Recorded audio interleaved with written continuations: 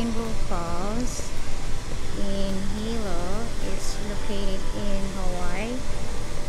This is about 80 feet tall and almost 100 feet in diameter.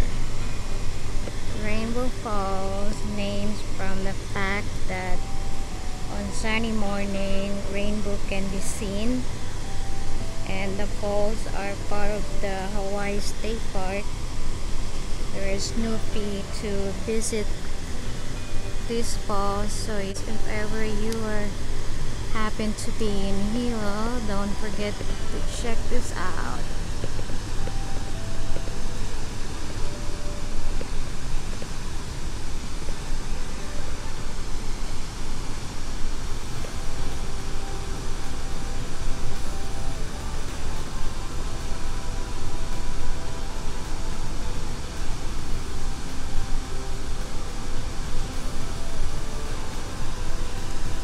we used to go up there but now they closed the the top section so we can't go up there.